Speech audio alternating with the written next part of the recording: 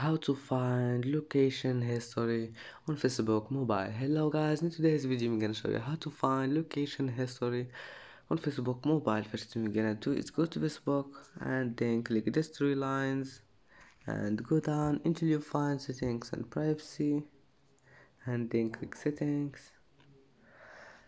And now go down and until you find the location and then click this one location history and as you see now all you need to do is just uh, click this one uh, if you want to turn it on or if you want to see location history click here.